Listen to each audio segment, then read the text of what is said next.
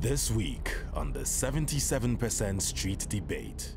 Uh, The law currently says if you are 14 years and younger, you cannot consent to sex. That's statutory rape. My water broke at school. Your water broke when you were in school. Yes. liberalize abortion in Namibia is a matter that needs the urgent of all the attention. I don't think uh, we as human beings have the right uh, uh, to take life. Women should be given the choice.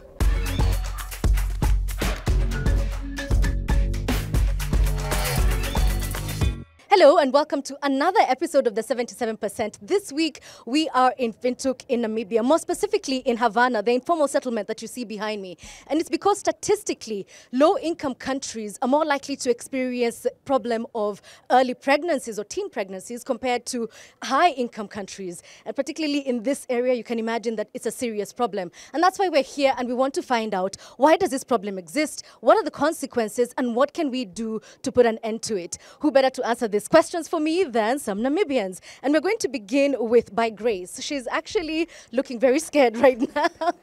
but that's all right. So By Grace, you're a teen mom and you mm-hmm. made headlines here in Namibia because you actually got pregnant at the age of 14. I can mm-hmm. imagine that that was a very scary experience for you. Yes. Can you tell me what scary- happened? My parents had like a funeral of my grandmother, and they'd go like back and forth to the f- village. They didn't know that I had a boyfriend that time. But then when they found out that I had a boyfriend, that's when they started asking me questions like, "Did you start having sex?" and all of that. And then that's when I like mm, became open with them, and then I told them that yes, I've had sex, and I didn't get my period for so long and all of that. And they decided that we should go for tests. So we went for the tests, and then they came out positive. They were okay. They were mad, obviously, but they were a bit accepting. Yeah. Uh-huh. And the the knowing that um I they had I had their bags is what kept me going. Right. Uh, but what happened when you got the news? When you knew for yourself that for sure I don't have my period and it's very, very likely that I'm pregnant? What was going through your mind? Okay. Um, I was there. It was actually a time where I was depressed and I was doing my scores at school were very weak. I also kind of thought about like having abortions and all of that. Like I had the thought of having an abortion, but I actually never like tried to maybe go to the shop or maybe look for something or go on or on the internet to search and all of that. So, yeah. So the thought crossed your mind, but you Yeah, opted I against never- it. mhm. How old was your boyfriend at the time, by the way? He was 21, I think. 21. So you were a 14 year old dating a 21 year old. Yes. Uh, let me just come to Amore here for a second because she's also a teen mom, albeit the fact that she got pregnant when you were 17, right? Yes. Did you also have an older boyfriend? And is it normal in Namibia to have somebody who's significantly older than you uh, as a boyfriend when you're a teenager? Yeah, I was having an older boyfriend. He was like 25. But the reason I took an older boyfriend was like the needs to support, you know, toiletries, those things. Yeah, that's why. So, what are some of the things that your boyfriend was providing for you? Just explain to me, please. Toiletries, stationaries for school. So, your parents were not in a position to do this for you, I imagine. Yes. Um, okay, and so you figure out that you're pregnant. Is it scary for you when you find out, or were you thinking, oh like, gosh, this I, is normal? I only found out when I was four months because I was like get, still getting my period. And then like I was at school when my teacher, it was a male teacher, he told me that my breasts are big and like he wanted to take me to the clinic. Mm-hmm. So I went with him to the hospital and then he called my parents. But then my parents said that I must move out of the house and go and stay with my boyfriend, the one that made me pregnant. So I had to move. Yeah. But then the guy was even denying when I told him that I'm pregnant. Yeah, he denied until the kid was after I gave birth, until she was eight months. That's the time he accepted the child yeah. because we went for a DNA. Okay, and have your parents taken you back in since that time? Yes. Okay. Um, let's come to Immaculate, who's on this side. She's a senior research fellow at the University of Namibia. And I just want to put things into context here. Is what we are hearing a familiar tale here in Namibia or in the larger African context? What do the figures say? Uh, teenage pregnancy is indeed a serious concern uh, globally. The Namibian government have what we call the uh, um, education monitoring information systems, where annually the schools must be able to indicate what has happened to those learners who are not returning. Right. A significant number of the learners that are not coming back are actually due to pregnancy. to early And- And, there you can see it around 40%. 40%. For reasons why learners are not returning to school. Wow. Okay. Yeah. Um, I want to speak to where is he? West. Here he is. Uh, West is a traditional dancer. He would consider himself a traditionalist. You can see from his jewelry. But you also grew up in areas like this, you know, informal settlements, and you're actually working with youth in these areas. Why is the rate of teen pregnancy so high? A lot of kids are being approached by adults or maybe bigger boys. Yeah. So this is also to get a, a, a fresh fruit from the beginning because there's also this leak of saying that What do you, what do you mean a fresh fruit? fresh fruit is like uh, let me say uh, guys are also proud of themselves and also doing the campaign amongst themselves and say that I'm proud of myself because I have been breaking maybe 15 girls or virgins or something like that. So it's, for us it's a joke or maybe it's a, it's a fun thing.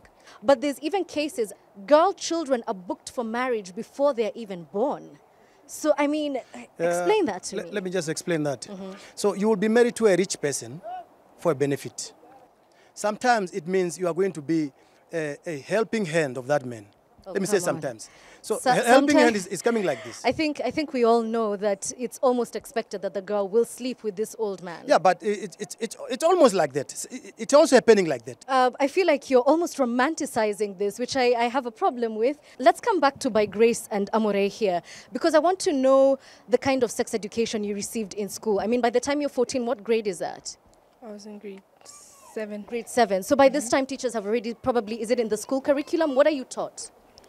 Yeah, we were taught about sex, yes, that um, you should condomize and all of that. And yeah, family planning, you should use family planning. And I did have knowledge, just there was just an accident that happened. Yeah. Uh, what about you, Amore? Were you aware of, you know, sex education, the possibilities of getting an early pregnancy and the consequences of that from school?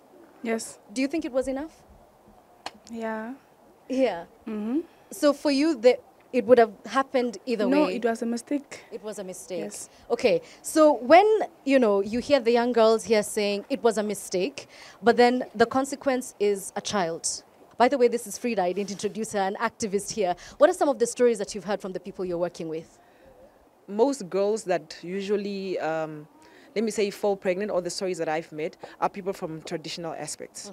And traditionally, you're taught to not sort of really refuse when a man approaches you because this man is older than you are. And in the end, this person ends up pregnant, this person ends up, even if they say that, no, I'm pregnant, they come to their elders. So what they did is they approached this uh, other family and said, no, if you are able to take care of this child for us, we will let it slide. Why are you literally swiping this whole thing under the mat? Because firstly, that other person is a perpetrator. Yeah. It's a, he's a rapist. You had sex with an underage child. That's rape.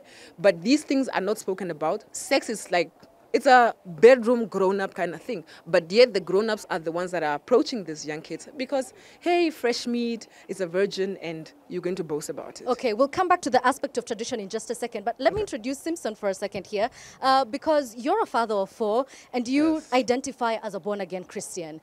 And so the question of having age appropriate conversations around sex and sexuality, but within the context of Christianity, is that happening? You you get uh, uh, teenage girls also getting falling pregnant in the church. Uh, but that does not say they, they, they are not informed or rather they don't get the education from, from, from, from, from, from school. Sex education only comes in somewhere around 14, 15 in schools as well. But I think somewhere it needs to start from grassroots, from home as well. Parents need to, to, to encourage, parents need to, to, to, to, to be open about this kind of things to, to, to their daughters and say, no, What about to their sons? yeah, to their sons as well. To their sons as well. Teach them that uh, uh, there is a way to live uh, uh, virtually right, and that also a way to live morally right, and to wait until one of the days that you will get married. Okay, let me come to Immaculate. Oh, I can see you're itching. I, I, I, yes, um, there's a notion that if that young boys are not implicated in teenage pregnancy, th- there's, there's that whole narrative. But Yeah. they, they are. The education needs to deliberately target the young boy. They need to be as much part of the solution as they are part of the problem. Um, do you think that the education system is comprehensive enough when it comes to Nah, issues sexual no, education? Not, not really, not really. We have, we have looked at the way how, the, extent to which the teachers are comfortable in talking about sex education to the, the, the learners. Mm-hmm. Majority of them are not even prepared to take on the conversation. Yeah. Uh, uh, we, we need to step up a little in terms of the type of policies that we have in place. Namibia has an adolescent friendly health policy. And the understanding there is that a 14, 15, 16 year old should be able to go into a health facility. Find a queue that is separate from the other queues where family planning is taken. And there should be a nurse who is well trained, who will be able to give this youngster comprehensive health Yeah. service, not just the injection or the pill or the loop. Okay. But it's not yet happening. Let's come back to Simpson then, because it ties back to what you were saying earlier that the teachings for you as a Christian is abstinence until marriage. Don't you think that's a little misleading? I mean, people are having sex. Why don't you just give them access to contraceptives and the health care that they need? Yeah, uh, Edith.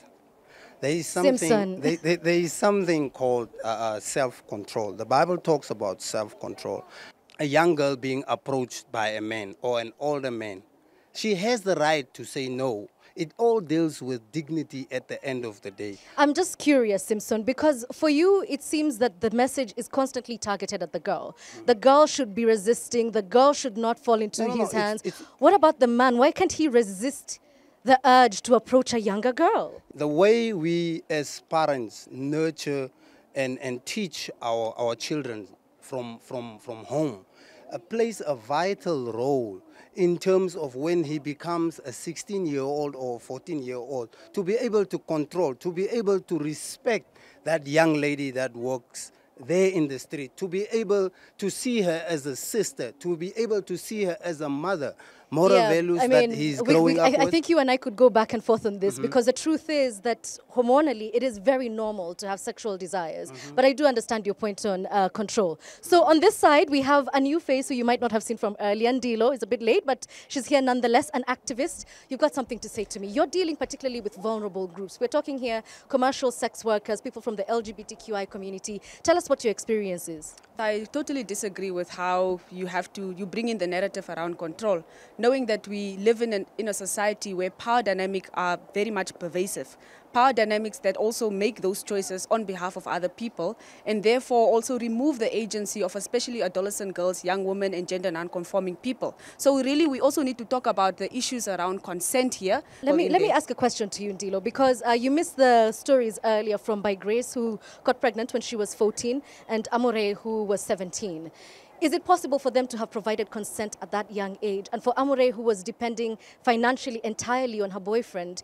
So, according to our Combating of Rape Act of 2000 and, and of 2013, I think, the uh, the law currently says if you are 14 years and younger, you cannot consent to sex. That's statutory rape. And if the person is, is, is 14 years and three years older, that also you cannot consent. But again, we are talking about adolescents here. So there is no way that the person could have consented, even if they they did say yes and, and this and that, because we are looking at power dynamics. So we men, we cannot have that that conversation around consent consent without talking about the existing power dynamics. Okay, great. All right, so I want to come back to these two ladies uh, because I know one of the things that's associated with teen pregnancies, at least where I'm from in Kenya, is shame, a feeling like you did something completely wrong. Did this, did, did it feel like that for you? Because you stayed in school until you were eight months pregnant, yeah? How did that go? Um, yes, shame from like thinking what will the people say, what will the teachers say, what will people at church say. It did also um, affect you. Yeah. How did you deal with that? Because it's not an easy situation to be in. Yeah. Um. okay. I had my parents, number one, who were encouraging me not to worry about what other people said, and my life skills teacher. Yeah. So you had a support system around you. Let me ask you a personal question. Have you grown up in the church? Yes, I did. And did you feel like at that point you could go to your pastor or your youth leader and talk to them about what was going on? Mm, not really. I was ashamed that maybe they would like someone that grew up in the church, how you you've been, how can you fall pregnant and yeah, so Yeah, but you're back in school now. Yes, yeah. I Um, Amore, you haven't been able to come back to school. You're working in a tuck shop at the moment. Yes. So did you have to drop out immediately you got pregnant, or what happened? No, I went to school until I was eight months pregnant. Mm-hmm.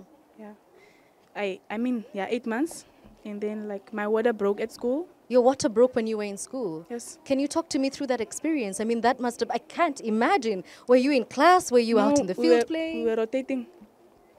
Yeah, we were like you know changing glasses most.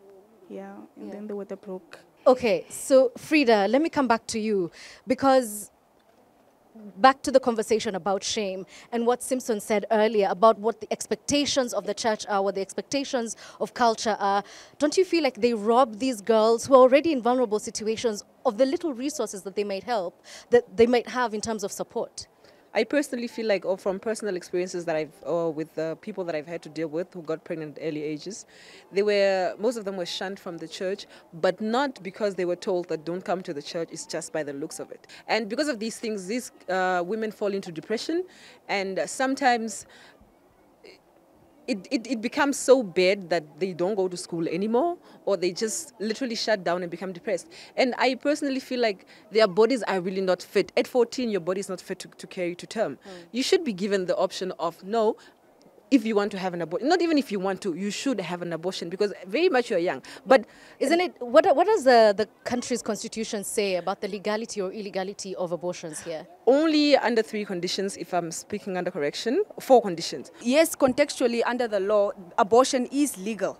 So, but legal only under very f- constrict, uh, very restrictive conditions. Outside of that, it's criminalized, which means that if you do go for a backdoor abortion, you will be arrested when you will be fined 5,000 or five years imprisonment or both. Now, current, coming to the current steps of abortion to obtain an abortion, if under the case of rape or incest, you need two medical practitioners, and those practitioners must be performing in the Namibia State Hospital, and then you need a third doctor that would perform the abortion. So these two doctors, they only issue the certificate, not the performance itself. If it's under also rape or incest, you need a certificate from a magistrate, and you need to provide a good enough reason for why you did not, for example, report a rape, a rape case. If you are a minor or under underage, you need either written consent from the Minister of Gender, you, or from the Children's Court, or from a parental or guardian. And then also abortion can only be performed in a state hospital. So I'm guessing, Immaculate, that given what we've just heard, that the number of unsafe abortions is probably on the rise, just as teen pregnancies are. Yes, and, and it, it is difficult to get access to statistics because of the illegality or the criminalization in the event. We, we, um, I'm at the university. We hear a lot of stories about a, a pill that is in the market that girls can access. We hear uh, stories of women or young girls who bleed them, themselves almost to death because these pills need to be drank in either two sequences or three sequences. You drink one today, and after three days, you drink another one. And if you don't have the money for the next one, you are likely to, to, to just not survive it. It is, a, it is really a horrendous story. It's the issue of finding a way to liberalize abortion in Namibia is a matter that needs the urgent of all the attention Okay. that, that, that, that we need to put I'm on. curious to hear from Simpson what his views are. Alfred, I'll come back to you in just a second. Uh, we have the ladies there who are saying that abortion should definitely be an option on the table, particularly for seriously young mothers. The church is very clear on this, it forbids it. Is there no middle ground whatsoever? I don't think there is a middle ground simply because uh, this So child. if, if uh, let me ask a different question. If the uh, abortion law was to be changed and made more direct, how, how would you feel about it? Uh, it wouldn't have been a good thing because uh, I don't think uh, we as human beings have the right uh, uh, to take life. I mean, at the end of the day, we should support the mother in terms of going through this process, uh, uh, giving the necessary guidelines that she needs to get, and then if she's in, in school, get her back um, when she's done giving birth, get her back to school so that at All the end of the day she can be have a career and be a, a, a responsible mother. Okay, Frida, you had something to say to me earlier. Please go ahead. Um, I just wanted to add on to what Ms. Immaculate said. The, the fact that um, as much as um, we want to not legalize abortion fully, it is happening.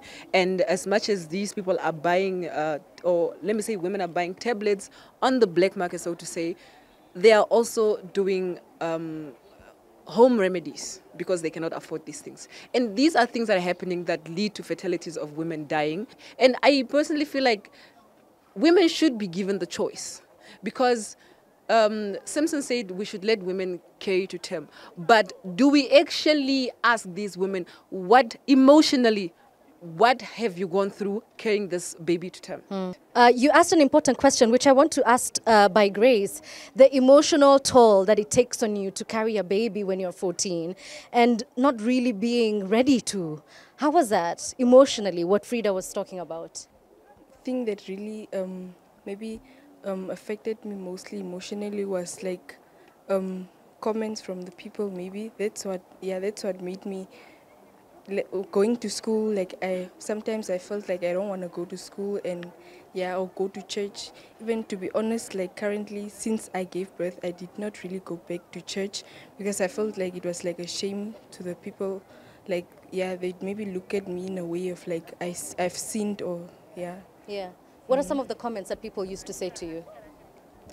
like by grace the innocent one how did you fall pregnant and yeah Yeah. on because also my parents are like religious people so people were like um, your parents are religious people how did that happen like how did you fall pregnant people who call themselves um, christians their child the, her like their child their child is pregnant and Yeah.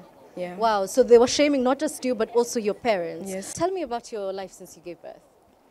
Um, okay, my parents have actually been supportive and they um, offered to, they hired a nanny. So when I go to school, she takes care. After school, she stays um, until maybe five, so I can maybe rest, do a few homeworks, and yeah. Yeah.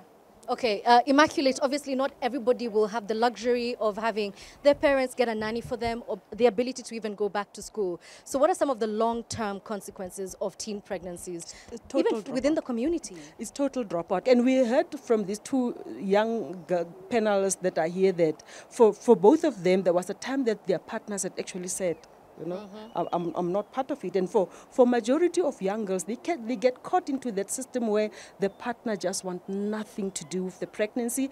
And parents also have a tendency to continue ostracizing them by putting punitive measures on these young girls. Yeah. So school dropout is, is really, for most girls, the, the only Yeah. alternative. And I also read that incidentally, people who are teen mothers are more likely to raise children who will themselves become teen parents. a um, cycle. so let's now look at the solutions because this is a problem that is faced surely around the globe, but particularly in Africa. And I'm very curious to know from Simpson because the church obviously has a very hardened position and abstinence is not going to work. I'm sorry, it just won't. Yeah. Um, the, one of the solutions that we can look at is let us stand together as a nation, as we say that we are a 90% Christian nation. Let us stand together, and when these kind of things happen, let us not shun them, but support them. Okay, and speak openly as we are, I suppose. Uh, okay, let's hear from Frida. What do we do so that um, in the next 10, 20 years, we don't have another 10, 20,000 by graces? I, I personally would say let's legalize abortion, but you can be for abortion or you can be pro abortion but not take part in it. It's a conversation we need to cater for everybody that needs, because everybody needs to be happy in the end. But what about uh, uh, uh, uh, rape victims? Even these rape, like Ndilo mentioned earlier on, these rape, rape victims need to get consent from two physicians and another third doctor to actually just terminate these pregnancies. Why can't we just make it free? Because in the end, if you don't support abortion, it's fine. You, you, you don't have to uh, uh, encourage people to have an abortion, but give other people the choice to make that for themselves. All right, themselves. fantastic. Let's hear from West. Some solutions very quickly, please. The I really want solution to is get there. education of sex. Education, sex education, Sex comprehensive education, sex yes. education. Fantastic. Immaculate, very quickly, please. A lot has been said, but you know what? I, I always really believe that um, there are worst case scenarios where pregnancy takes place because of rape or incest. But then there are also cases where, where we really need to bring back the joy, the fun, the beauty of sex back into the platform. So Oh, I that like sex can no longer be destigmatized. Bring it back so that the, the, those youngsters who wants to engage sexually can can apply their minds and, and know that I, I know whatever that is there to, to know. Let's bring back Okay, beauty uh, we're just yeah. wrapping up this debate, and I want to hear from the two ladies here. I'm sure there's some teen moms who will be looking at you right now, looking for advice, or some young women who might be wanting to hear from you. Yeah, Amore, go on. I would prefer that girls take contraceptives, yeah, at all time. But sometimes ne, contraceptives are out of stock. That's even one thing. Always it's not there. When you go follow up, it's not there. So Yeah. Thank you. I like that. By Grace. Even though your um, maybe your parent doesn't come to you to have like a sex conversation, maybe try to go to them and talk about it. And secondly, also try to use contraceptives. And um, yeah, I'm not encourage. Um, oh, I'm not saying you should fall pregnant, but um, if you do end up fall pre- pre- pregnant, it's not the end of the world. Okay, I, I really like that. That's actually a really positive note to end on. It's not the end of the world if you do become a teen mother. Uh, but most importantly, going back to what people were saying, education is key and making sure that these conversations are happening out in the open. As usual, thank you so much for watching.